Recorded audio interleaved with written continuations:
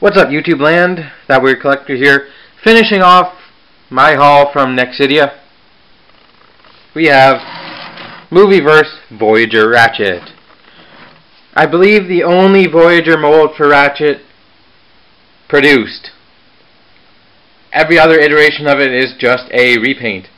This paint scheme, however, is the one from the first Transformers movie. And it's green. Why?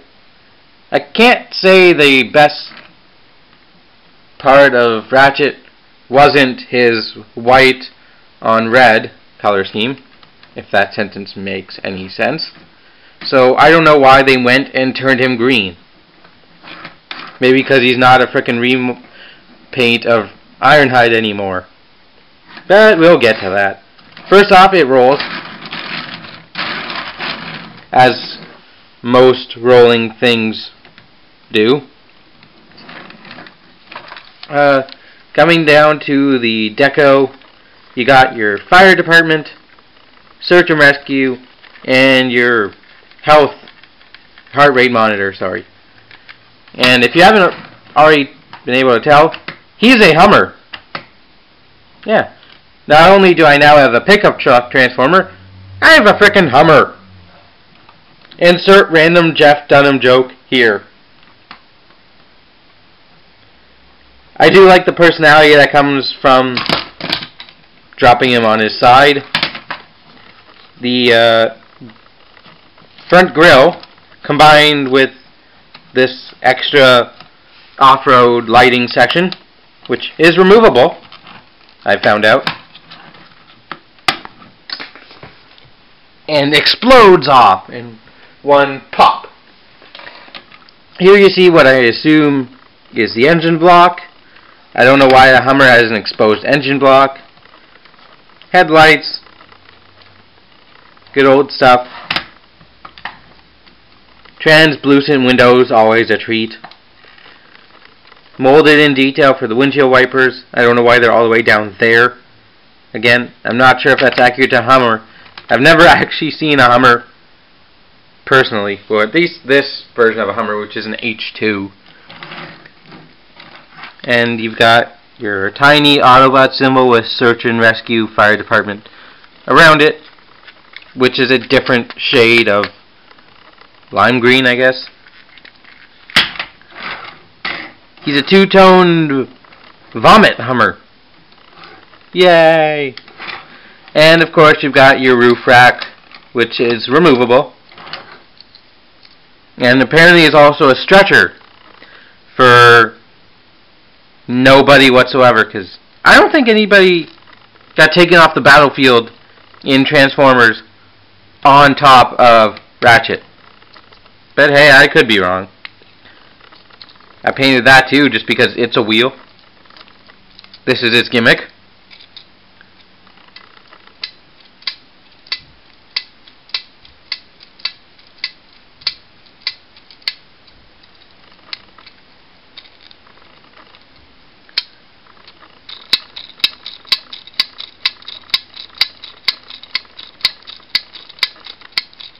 That sucks. Now, for comparison, I will bring in Deluxe Dark of the Moon Ratchet. And you can see they're the exact same vehicle. This one's a hell of a lot bigger. Hella big. Hella, hella, hella big. Just so you can see this one, I've already reviewed this, so you can go watch that video. But you can just see the comparisons on how different molds can be, even if they're based on the exact same vehicle.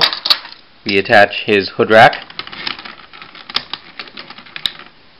And coming around to the back. Yeah, it's the same. Oh well. Another comparison for you, since I've already done the video, is Voyager Ironhide. You can see just how much bigger the Hummer is than, say, a rather Snordinary pickup truck.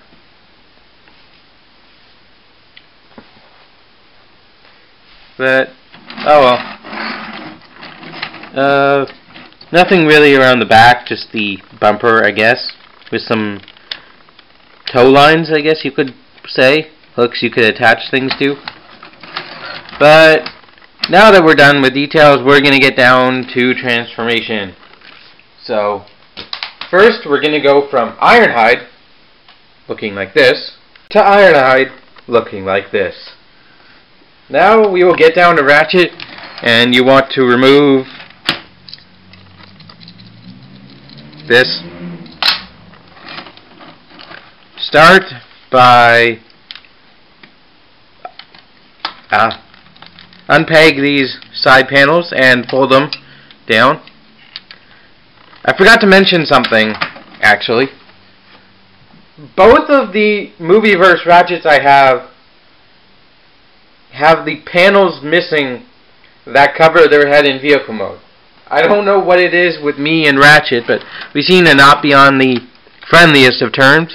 So unpeg, double hinge. You can see some nice molded in detail here if you could. I'll move down a bit. Nice molded in detail. Fold out the arms.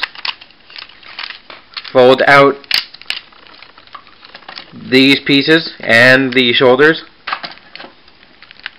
like so take this top panel fold it down or fold the windshield and then you're going to want to extend the legs as far as they can go.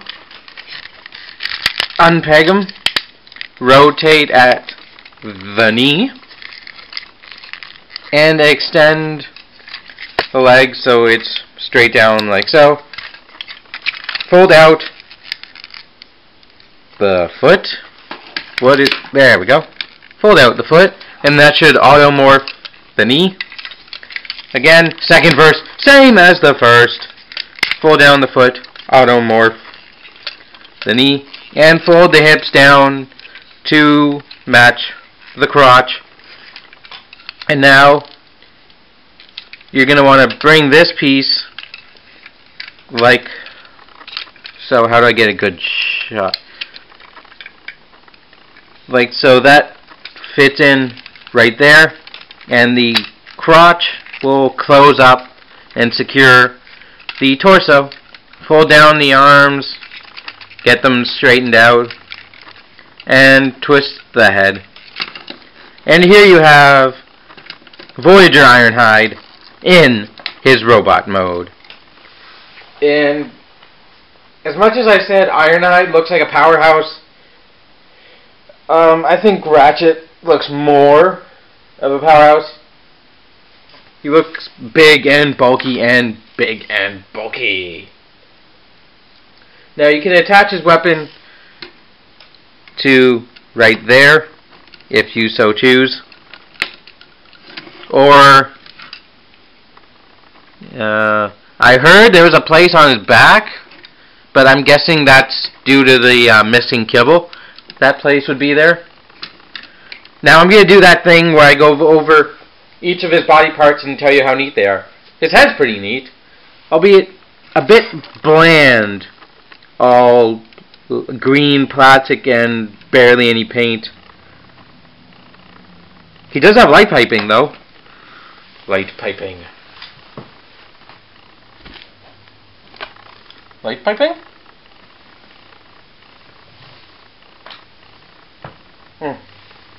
He has nice translucent blue eyes, which I wish I could show to you right now. His uh, transformation is pretty neat. I like how it folds out a lot of stuff. I'm grasping for words here, ladies and gentlemen. His shoulders, pretty uh, bulky and square with the kibble flaps. There's a bit more kibble around the back as well. You got your translucent head, head no, uh, windscreen, and bumper, back bumper, along with some nice molding and detail on the backs of the legs. Now, his arms are where I have a bit of an issue. They look really gangly and out of proportion, way too thin for his massive physique. And these hands, man. Do they even look like regular hands? I guess he can just use it to curse the sky if he wants. He's got permanent middle finger, permanent bird. He's got permabird. I can't I can't change it. He has no hand articulation. Oh. Okay, he has a little movement in his hand, but other than that, is he's stuck in permabird, which is rather amusing. And these parts of the arms are also where I have issue. Now this one's just one solid piece with some red paint and oddly the same lime green as the uh, doors. That is the word I was looking for. Doors. oh God. Can't attach. I can't read there. No, no, can't read. Ah, oh, there. I reattached his kibble. But this one is supposedly an axe, or at least was a prototype for a weapon Ratchet might have had. So what you do is you come in here, you flip up that panel, it's on a slight ratchet, then you fold in his hand, fold down the panel, and uh, there's your axe. I guess it can be closer to a scalpel since Ratchet is a doctor or a nurse, whatever you want to call him. He's a surgeon, so I guess he can. He must have a blade weapon to perform surgeries on open wounds or ripped off arms and legs. But also, for some reason, it's on a hinge, so you can do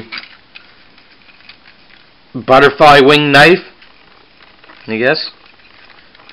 Nah, that's not... It's pretty crappy in my opinion. It is nice for this toy to have a gimmick, I guess. Unless you're TJ, then you just hate gimmicks outright. But I wish that could have been removed for better hand articulation, or at least any hand articulation. His head spins. His shoulders are on a nice uh, 360 joint with some in and outward transformation action and this panel his arm can flail in and out and then flail at the elbow for for that kind of motion I guess. Whatever you want. Nice amount of molded in detail on the arms His uh, waist is pretty cool, but it's it's a bit average, all bulky and uh, kibbly. His hips have a nice forward and backwards motion, but not much in and out due to the kibble. I don't feel like removing the wheel. A little bit in love with them legs. All square and thick like slabs of meatloaf. Uh, quite a bit of mold in detail on the sides too, and a bit of an automorph gimmick which bulks out the fire department panel and puts it back and bulks it out. The knee has about mm, almost 90 degrees of motion. Yeah, I'd call that 90 my phone goes off. You got a knee swivel, and your foot goes about that far before you start de-transforming, or going back to vehicle mode, and it wants to break the knee right there. And that's about it for Ratchet. He's quite the uh, bulky doctor. I'd be scared. Of, I'd be scared to say no to this doctor, honestly. And overall, he's just a uh, very average movie Transformer. Now, you can see him next to Voyager Ironhide. And for another comparison, we have Deluxe, Dark the Moon, Ironhide, Ratchet. He's not Ironhide. He looks like he looks like he could be Ironhide. Uh, I'd say this guy wins just out on face paint, having some hand having proper hands, even though they have slightly less articulation. But yeah, there's your size comparison. And I think that wraps up Ratchet. The Voyager Ratchet that I wanted since I got into collecting. Although I still want that iGear unofficial version. He really looks cool. But that's it. Thank you for watching. As always, uh, like this video, favorite, subscribe if you can. Uh, check the links in the description. Check out Next Nexcidia Toy Emporium. And uh, have a great one. Bye.